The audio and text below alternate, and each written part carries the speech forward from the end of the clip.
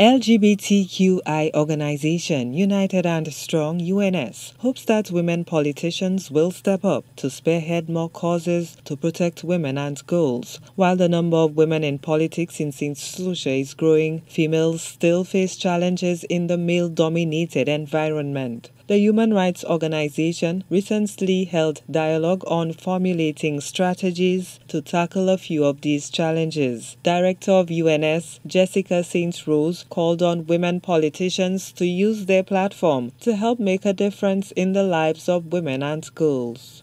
How do we get political leaders, especially women, to be part of these discussions? Because this is what is important. As much as they are in political spaces, they are in political leadership, but what are they doing to address the issues, especially as it relates in this important time, of activism, where we want to hear the voices of our political women, our political leaders, fighting against the violence against women. We recently saw a murder of a young nurse, someone at the front line of our of, of our communities who got murdered and do are we going to are we going to get justice? And this is the answers that we want. And as and these leaders have what it takes to change the narrative and to build on that and to and, and to increase the voices and the awareness as it relates to these issues the panel discussion coincided with the start of the annual campaign on Friday, November 25, 2022, of 16 days of activism denouncing violence against women. Wednesday's dialogue also focused on strengthening the role of LGBTQI and marginalized women in politics.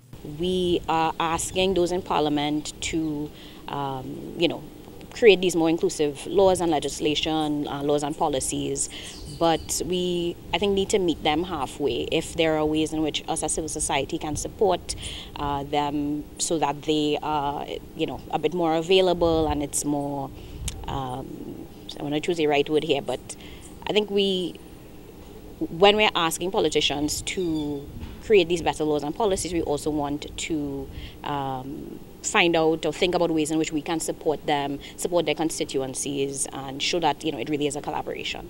St. Rose is optimistic that the discussions will be sublimated into tangible action that will actually benefit women not just words, not, not just on paper, but putting what we have discussed, putting what we putting what we have continuously been advocating for, putting these things into action. Because when we putting things into action is when we can see a light in what we how a light in what the work that we do, and and also we want we we see what we want to, the community that we want to, the safe communities that we want to live in, because we want to aspire to live in safe communities. Persons nowadays don't feel safe.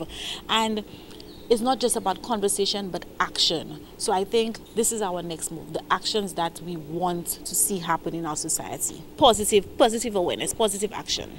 The panel discussion was a collaborative effort of United and Strong, the regional organization in women in leadership, and the Frontline Alliance Against Gender-Based Violence. Gina Filippi, HTS News Force.